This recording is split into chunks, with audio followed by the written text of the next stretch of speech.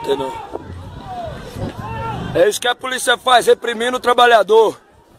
Com gás de pimenta e bomba e tiro de borracha dentro da ocupação.